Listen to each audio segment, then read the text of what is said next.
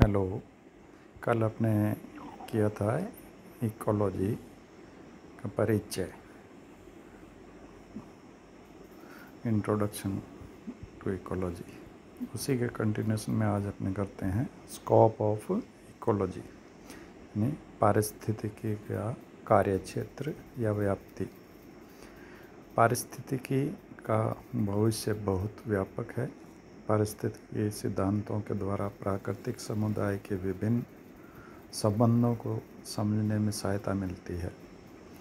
पारिस्थितिकी को वर्तमान में एक विज्ञान के रूप में जाना जाता है, क्योंकि इस विज्ञान का संबंध भौतिक एवं जैविक वातावरण से अति घनिष्ठ होने के कारण जीव विज्ञान की विभिन्न शाखाओं, जैसे मॉर्फोलॉजी फिजियोलॉजी जेनेटिक्स एम्ब्रियोलॉजी तथा अन्य मुख्य विज्ञानों जैसे रसायन विज्ञान, भौतिक विज्ञान, खगोल विज्ञान तथा भूगोल आदि से अति घनिष्ठ संबंध है। पारिस्थितिकी सिद्धांतों के द्वारा प्राकृतिक समुदाय के विभिन्न संबंधों को समझने में सहायता मिलती है।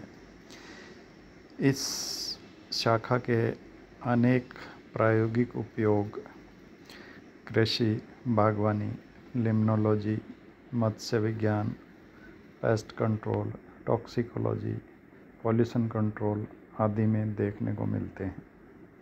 सामान्यतः इस विज्ञान के क्षेत्र का अध्ययन निम्न प्रकार से किया जा सकता है। नंबर एक फिजिको केमिकल स्कोप भौतिक, रासायनिक व्याप्ति। पारिस्थितिकी के अंतर्गत वातावरण के अनेक भौतिक व रासायनिक कारक जैसे तापक्रम, प्रकाश, ह्यूमिडिटी, लवणता, पीएच मान तथा जल एवं थल में उपस्थित अन्य रासायनिक तत्व आदि का अध्ययन अति महत्वपूर्ण माना जा गया है, क्योंकि ये कारक जीवधारियों पर अत्यधिक प्रभाव डालते हैं। प्रत्येक जंतु के लिए विभिन्न भौतिक व रासायनिक कारकों का उचित मात्रा में होना आवश्यक है। दूसरा है क्वांटिटेटिव स्कोप परिमाणात्मक व्याप्ति। इस क्षेत्र के अंतर्गत विभिन्न समुदायों में जीवों की गणना अथवा आबादी के घनत्व का संख्यात्मक एवं मात्रात्मक अध्ययन किया जाता है तीसरा है क्लासिफिकेशन स्कोप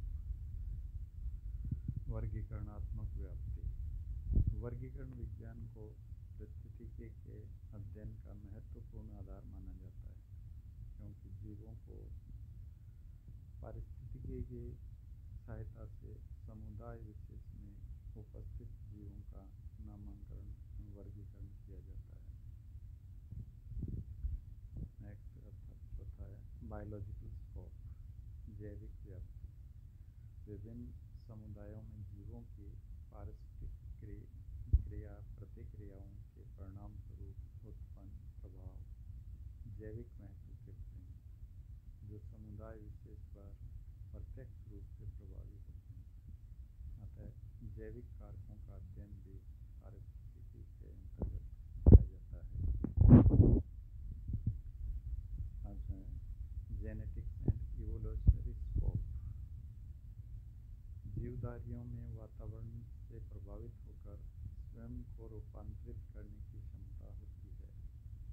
नवीन प्रजातियों एवं जातियों की उत्पत्ति का मुख्य कारण जीवधारियों की वातावरण के प्रति सानुकूल होने की स्वाभाविक प्रकृति होती है। जीवन संघर्ष में सफलतम प्राणी वे ही होते हैं जो स्वयं को नवीन वातावरण की परिस्थिति के और शेष वे जीव नष्ट हो जाते हैं। जो स्वयं को उस वातावरण के अनुकूल डाल पाने में असमर्थ होते हैं। अनुकूलतम परिवर्तन के लिए जीवों के आकार प्रकार लक्षण स्वभाव तथा कार्य आदि में परिवर्तन होते हैं ये परिवर्तन धीरे धीरे स्थायी हो जाते हैं तथा नई पीढ़ी पूर्वज पीढ़ी से कुछ भिन्नता लिए होती है प्रकृति द्वारा इस प्रकार अनुकूल परिवर्तनों को स्थायित्व देना प्राकृतिक चेंज या नेचुरल सिलेक्शन कहलाता है इस प्रकार योग्यतम जीवधारी जीवित रह पाते हैं और अयोग्यतम नष्ट हो जाते हैं इस प्रकार यह स्पष्ट होता है कि पारिस्थितिकी का अनुवंशिकताओं और विकास में निकट संबंध है अन्य संभावित पारिस्थितिकी को केवल। जीवन विज्ञान की सीमा में ही प्रतिबंधित नहीं किया जा सकता, क्योंकि इसके अंतर्गत लगभग सभी विज्ञानों से कुछ न कुछ ज्ञान एकत्रित किया गया है।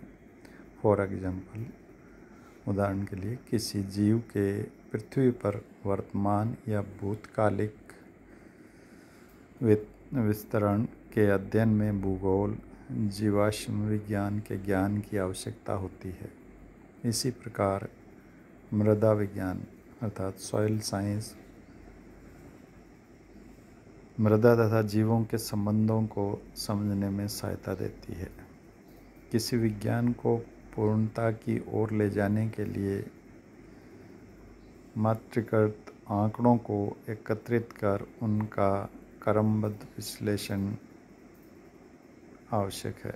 इस प्रकार पारिस्थितिकी में भी गणित व सांख्यिकी का बहुत महत्व है। मानव का एक जीव के रूप में अध्ययन करने के कारण पारिस्थितिकी के घेरे में अन्य विषय जैसे मानव विज्ञान अर्थात एंथ्रोपोलॉजी समाज विज्ञान सोशियोलॉजी तथा अर्थशास्त्र इकोनॉमिक्स भी आ जाते हैं। इस प्रकार पारिस्थितिकी की अपने अपने में ही एक महत्वपूर्ण विज्ञान है। इस प्रकार पारिस्थितिकी अपने आप में ही एक महत्वपूर्ण विज्ञान है, जो विभिन्न क्षेत्रों के विज्ञान से सदैव निकटता बनाए रखती है। अतः इस विज्ञान की सीमाओं का निर्धारण नहीं किया जा सकता। इसी कारण इसका क्षेत्र व्यापक या विस्तृत है। ये तो थे इकोलॉजी के स्कोप अब आते हैं सिग्निफिकेंस ऑफ़ इकोलॉजी इकोलॉजी का महत्व क्या है? पारिस्थितिकी ज्ञान मानव जाति के लिए अत्यंत महत्वपूर्ण है।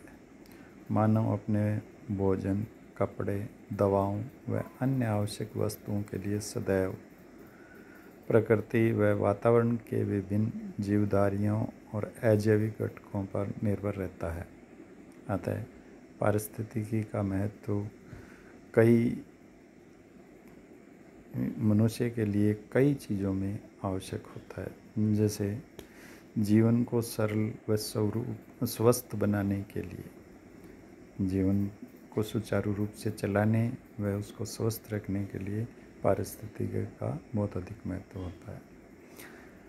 इसी प्रकार आर्थिक समस्याओं के समाधान के लिए आर्थिक गतिविधियाँ जो है, वो भी इकोलॉजी पर डिपेंड होती है।